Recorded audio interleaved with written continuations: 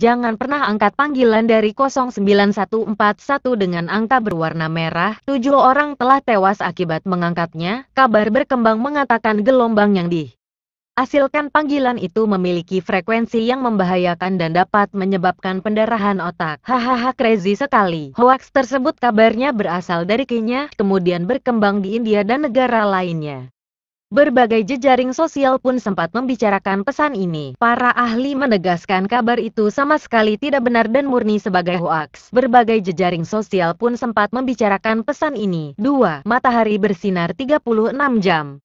Sebuah pesan berbunyi bahwa mulai tanggal 17 Oktober tahun 2012 matahari, bukan itu swalayan, tetapi matahari bakal bersinar selama 36 jam, satu setengah hari. Sebaliknya, sebuah daerah bakal tak menjumpai matahari selama satu setengah hari. Dengan demikian tiga hari biasa bernilai dua hari. Kejadian ini bakal berlangsung hingga tahun 2400. Gila ya zaman robot jangan-jangan. Banyak yang percaya dengan pesan ini. Namun terbukti pada tanggal 17 Oktober matahari bersinar seperti biasanya. Dot bersinar cerah secerah hatiku. Yap, murni hoax. 3. Soft drink penyebar HIV. Iya soft drink adalah minuman bersoda. Dot seperti ini. Bukan kalau ini DJ Soda, entah berapa banyak orang yang percaya dengan hoax ini. Hoax yang berbunyi tentang larangan meminum sebuah produk soft drink ini sempat tersebar beberapa tahun lalu, alasannya.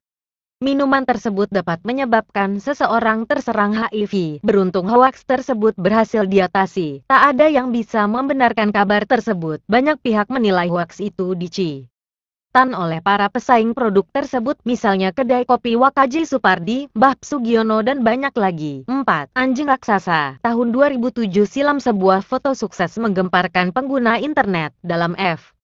Oto itu terlihat seekor anjing berukuran raksasa, lebih dari separuh tubuh manusia dewasa dan nyaris sebesar kuda. Anjing yang kemudian populer dengan nama Hercules ini ternyata tak dapat dipertanggungjawabkan keberadaannya.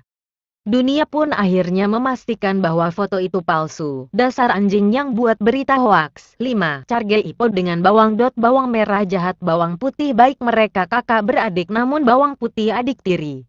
Eh malah cerita. Oke lanjut. Pengguna produk IPOS pernah dikejutkan? Wow terkejut, terhenyak, tercengang sampai jantungan juga gaya. Dengan kabar bahwa bawang memiliki fungsi tersendiri bagi mereka. Jangan lupa.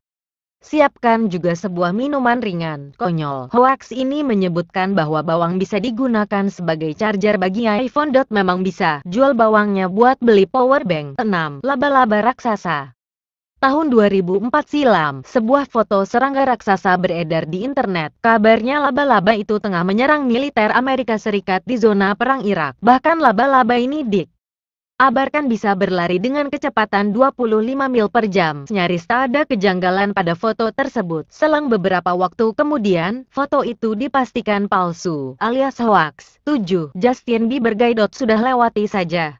Hoax yang satu ini nyaris saja mematahkan hati jutaan gadis di seluruh dunia. Dasar gadis tuna asmara, jomblo. 8. Bill Gates bagi-bagi uang. Cerita bohong lainnya beredar di internet tahun 2001 silam. Kala itu dikabarkan bahwa Bill hendak membagikan uangnya pada semua orang yang meneruskan email buatannya. Ya kali, emangnya Bill bapak lu? Hoax tersebut menyebutkan bahwa Bill berkepentingan untuk menguji software barunya. Jelas kabar ini hanyalah sebuah hoaks konyol. Bill tak pernah mengirim email tersebut. Lucunya, hoaks ini masih terus beredar hingga 8 tahun setelahnya dan tetap ada yang mempercayainya. 9. Pengguna Internet Explorer ber-IQ rendah. Ah ini kampret sekali ini. Saya sering lihat Explorer sama temannya Butsikra. Oh salah itu Dora. Tahun 2011 lalu CNN, BBC dan NPR memberitakan bahwa pengguna browser Internet Explorer ber-IQ lebih rendah dibanding Chrome atau Firefox. Entah bagaimana hoax ini bisa berkembang. Yang jelas pembuktian telah dilakukan melalui S. Sebuah survei yang menjelaskan bahwa kabar itu hanyalah hoax. 10. Huruf Z dihapus beberapa tahun lalu tersebar kabar di internet bahwa huruf Z segera dihapus dari alfabet Inggris. Hahaha eh ketawa. Gima. Nah yang namanya Zainab Zulkifli Zulfikar Zajuk Tamala Zulaika. Alasannya, ini dilakukan untuk menyederhanakan aspek fonetis bahasa, dan untuk menyatukan ejaan Amerika dan Inggris sebagai contoh. Kata zero bakal dijadikan zero dengan X. zoom menjadi so dan seterusnya. Janganlah mudah percaya dengan kejahatan yang ada di dunia maya. Boleh saja kita percaya tapi kita juga harus mempunyai bukti. Jangan langsung percaya saat melihatnya. Apalagi sampai nyebarin. Bisa-bisa kamu nanti di sliding apalanya. Hati-hati makanya. Semoga info berikut menjadi pelajaran. Tetapi bukan pelajaran sekolah. Untuk kita agar T. Idak mudah percaya dengan berita yang konyol. Rasanya pantas di sliding yang bikin berita biar kapok mukanya. Untung saya robot. Gak bisa nileding. Silahkan like komen, eh komen, dan subscribe. Lalu bagikan semoga masuk surga. Gak gak bercanda. Itu hanya akal-akalan jangan percaya masuk surga dengan like komen amin. Ya sudah semoga bermanfaat. Wassalamualaikum. Pertanda PW.